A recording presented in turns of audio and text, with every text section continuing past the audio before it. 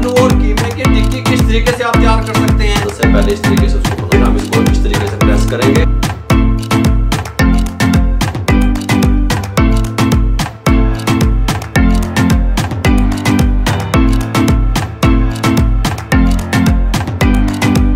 इस तरीके से हम इनको फ्राई करेंगे।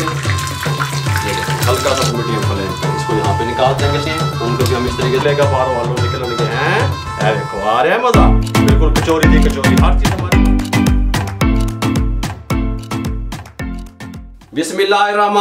अस्सलाम वालेकुम वीवर मैं हूँ शेफ रिजवान और आप देख रहे हैं Baba food R R C, आलू और कीमे के कटलस या आलू और कीमे के स्नैक्स। या आलू और कीमे की टिक्की? अगर आसान अल्फाज में आपको समझाना चाहूँ तो आलू और कीमे की टिक्की किस तरीके से आप तैयार कर सकते हैं? टेस्टफुल किस तरीके से बनेगी? आप कहेंगे कि, बाबा जी, ऐसा कमाल ही कर देता, टेंशन ना लिया करें, आसान रेसिपी देने वाला हूँ। तवज्जो से देखिएगा।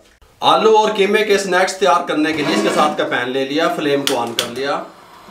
इसके अंदर हम three tablespoon cooking oil शामिल करेंगे। ऑयल गर्म होने के लिए छोड़ देंगे। जब तक ऑयल गर्म होता है हमारे पास यहाँ पे आधा किलो आलू हैं, इनको हमने बॉईल कर लिया अच्छे तरीके से। आपका दिल चाहे आप मैशर से मैश कर लें, आपका दिल चाहे कद्दूकश कर लें। मैं इनको कद्दूकश करने लगा हूँ, इस तरीके से आधा किलो आलू बॉयल करके कद्दूकश करेंगे।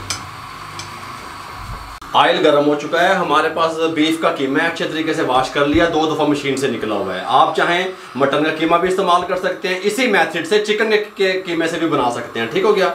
ये एक पाव कीमा शामिल कर देंगे और हम तीन से चार मीटर मीडियम फ्लेम पे अच्छे तरीके से इसकी भुनाई करेंगे ताकि ये अपना कीमा कलर चेंज कर ले। कीमे ने कलर चेंज कर लिया। इस टाइम हम डालेंगे लहसुन powder one fourth teaspoon अदरक powder one fourth teaspoon खुश्क धनिया पाउडर हाफ़ टी स्पून शामिल कर देंगे।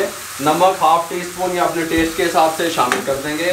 Garam masala half teaspoon ज़ीरा हाफ़ टी स्पून और हल्दी वन फोर्थ टी स्पून और साथ में शामिल करेंगे red chilli half teaspoon साथ में black pepper one fourth teaspoon सारे मसाले शामिल करने के बाद इसको एक से दो मिनट अच्छे तरीके से भून लेंगे मसालों के साथ।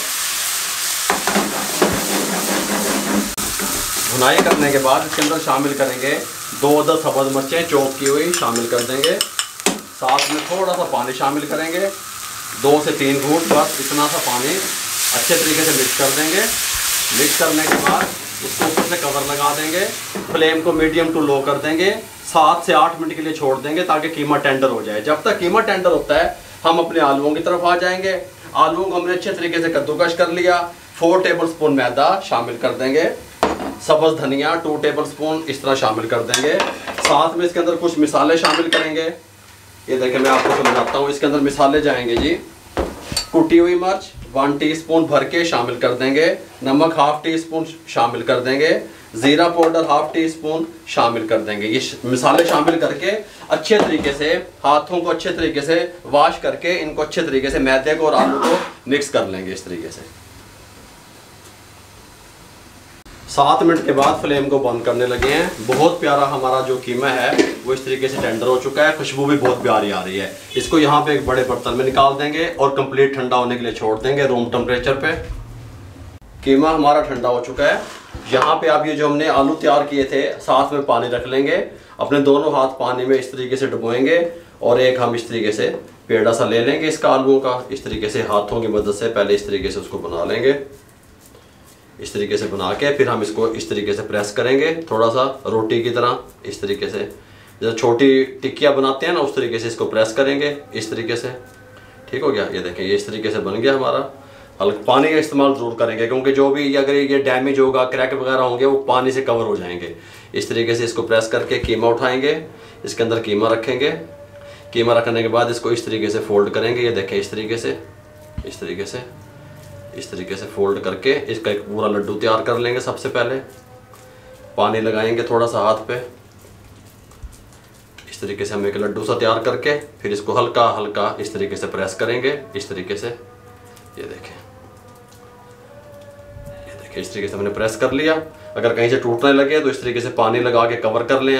पानी से कवर हो जाएगा, ठीक हो गया? इस तरीके से देखें, हल्का सा पानी लगाएँगे, ये बिल्कुल फिर नहीं टूटेगा, इसको यहाँ पे रख दें।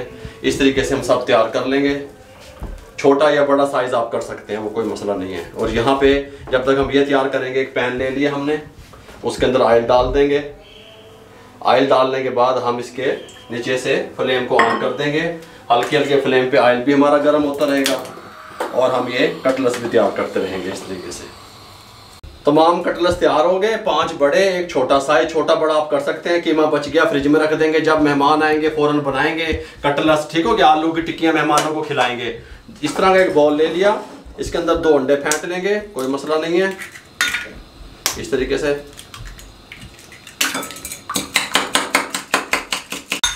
अंडे फेंटने के बाद हम यहाँ से कटलस उठाएँगे। इस तरीके से डिप करेंगे, अच्छे तरीके से एक्स्ट्रा से उतार देंगे, यहाँ पे रख देंगे। दूसरा उठाएँगे, इस तरीके से, इस तरीके से, इसको इस तरह उठाएँगे, यहाँ पे रख देंगे। कोई मसला नहीं है। कमाल का टेस्ट होगा इनका। ठीक हो गया? इस तरीके से मेरे हाथ बड़े हैं, इसलिए मैं, मेरे से बड़ा साइज़ बन जाता है भाई। अगर आप लोगों के हाथ छोटे हैं तो आप छोटे साइज़ का भी बना सकते हैं, कोई मसला नहीं है। इस तरीके से हम इनको फ्राई करेंगे गोल्डन होने तक।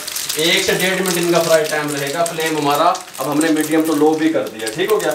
अब इनकी साइड को हम चेंज करने लगे हैं। कि बिस्मिल्लाह रहीम ये देखो, हल्का सा प्रेस कर देंगे। ये देखो, हल्का सा प्रेस कर देंगे। हल्का सा प्रेस कर देंगे। इसको चेंज करके हल्का सा प्रेस कर देंगे। इधर से भी कलर आने देंगे। कलर आ गया। एक से डेढ़ मिनट लगा बस मीडियम फ्लेम पे। इसको यहाँ पे निकाल देंगे स्टेनर पे। सुबह अल्लाह सुबह अल्लाह कमाल हो रहा है, कमाल हो रहा है। बाबर रेसिपियाँ दे रहे हैं। गल समझ आ रही है? इस तरीके से। और जो हमारे दो और पड़े हैं टिक्की हैं उनको भी हम इस तरीके से फ्राई करेंगे। बिस्मिल्लाह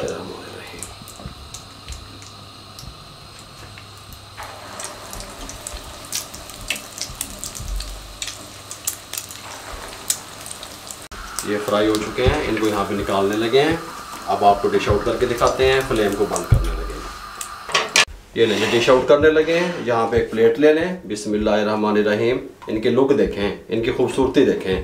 बिस्मिल्लाह, बिस्मिल्लाहिर्रहमानिर्रहीम, ये देखें। सुबहान अल्लाह अब इनको हम तोड़ने लगे हैं। यहाँ पे एक तोड़ के दिखाता हूँ। अंदरों कीमा निकलेगा, बाहरों आलू निकलने हैं। ऐ देखो, आ रहा है मज़ा।